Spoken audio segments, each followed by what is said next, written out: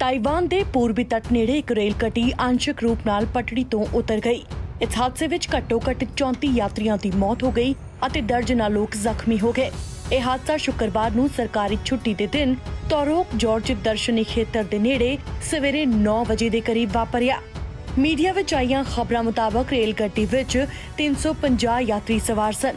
ਖਬਰਾਂ ਮੁਤਾਬਕ, ਇੱਕ ਟਰੱਕ ਇੱਕ ਖੜੀ ਚੱਟਾਨ ਤੋਂ ਲੰਘਦੇ ਹੋਏ ਹੇਠਾਂ ਡਿੱਗਾ ਅਤੇ ਇੱਥੇ ਸੁਰੰਗ ਤੋਂ ਨਿਕਲ ਰਹੀ ਰੇਲ ਗੱਡੀ ਉਸ ਦੇ ਨਾਲ ਟਕਰਾ ਗਈ। ਰੇਲ ਗੱਡੀ ਦਾ ਜ਼ਿਆਦਾਤਰ ਹਿੱਸਾ ਹੁਣ ਵੀ ਸੁਰੰਗ ਵਿੱਚ ਫਸਿਆ ਹੋਣ ਕਾਰਨ ਬਾਹਰ ਨਿਕਲਣ ਦੀ ਕੋਸ਼ਿਸ਼ ਕਰ ਰਹੇ ਯਾਤਰੀਆਂ ਨੂੰ ਸੁਰੱਖਿਅਤ ਜਗ੍ਹਾ ਤੱਕ ਪਹੁੰਚਾਉਣ ਲਈ ਦਰਵਾਜ਼ਿਆਂ, ਖਿੜਕੀਆਂ ਅਤੇ ਛੱਤਾਂ ਤੇ ਚੜ੍ਹਨ ਲਈ ਮਜਬੂਰ ਹੋਣਾ ਪੈ ਰਿਹਾ ਹੈ।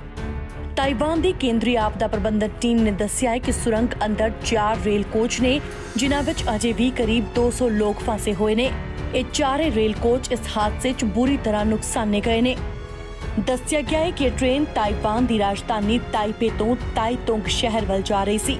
ਇਸ ਟ੍ਰੇਨ ਵਿੱਚ ਸਵਾਰ ਵਧੇਰੇ ਯਾਤਰੀ ਤਾਈਵਾਨ ਦੇ ਪ੍ਰਸਿੱਧ ਟੌਂਬ ਸਵੀਪਿੰਗ ਫੈਸਟੀਵਲ ਦਾ ਜਸ਼ਨ ਮਨਾਉਣ ਜਾ ਰਹੇ ਸਨ।